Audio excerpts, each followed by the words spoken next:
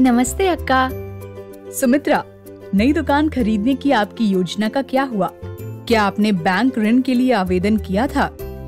हाँ अक्का बैंक कर्मचारियों ने बताया कि मुझे दीर्घकालिक ऋण लेने के लिए आवेदन करना चाहिए।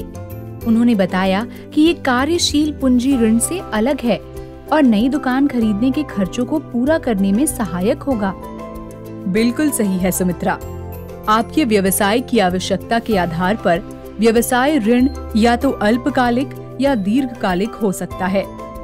कार्यशील पूंजी ऋण, जिसके बारे में मैंने आपको पहले बताया था, एक अल्पकालिक ऋण है। इस ऋण के तहत आपकी अल्पकालिक जरूरतों, जैसे कि व्यवसायिक आय कम होने पर स्टॉक खरीदने या नकदी बनाए रखने के लिए आप उधार ले सकते हैं। समझ गई अक्का? लेकिन मैं दीर्घकालिक और अल्पकालिक ऋणों के सटीक अंतर को नहीं समझ पाई। क्या ये इस बात पर निर्भर करता है कि मैं कितने वर्षों के लिए पैसे उधार लेती हूँ? आंशिक रूप से आप सही हैं, सुमित्रा।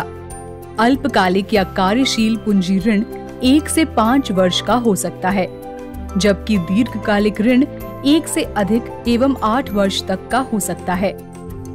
सावधि ऋण लेने से पहले आप खुद से पूछें कि आप धन का उपयोग परिसंपत्ति खरीदने में करेंगे या व्यापार चलाने में। ठीक है तो मुझे समझने का प्रयास करने दीजिए। सब्जियों का अपना स्टॉक बनाए रखने के लिए मैं अल्पकालिक ऋण लूँगी। लेकिन दुकान नई अलमारियाँ या बिलिंग मशीन खरीदने के लिए दीर्घकालिक ऋण लूँगी। क्या ये सही है अक्का? बिल्कुल ठीक है सुमित्रा। लेकिन अक्का यदि मैं दीर्घकालिक ऋण लेती हूँ तो कई वर्षों तक किश्तों का भुगतान करूँगी। ऐसी स्थिति में मुझे लगता है अल्पकालिक ऋण बेहतर है। आपकी क्या सलाह है? जब आप दीर्घकालिक ऋण लेते हैं तो ऋण की मासिक किश्तों की राशि कम होगी और चुकाने के लिए आपको अधिक वर्ष मिलेंगे। इससे आपको अपने व्यवसाय चलाने के लिए पर्याप्त आय बनाए रखने में मदद मिलेगी और आपको एक नई दुकान खरीदने में भी मदद मिलेगी। समझ गई अक्का। लेकिन क्या मुझे इस ऋण की पात्रता होगी?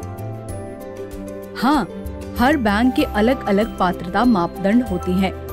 आमतौर पर यदि आप दो साल से व्यवसाय कर रहे हैं तो अधिकांश बैंक दीर्घकालिक ऋण दे देंगे। धन्यवाद, अक्का। मैं अपने व्यवसाय के खर्चों की सूची बनाऊँगी और ये पता लगाऊँगी कि मुझे कितना सावधि ऋण लेने की आवश्यकता है।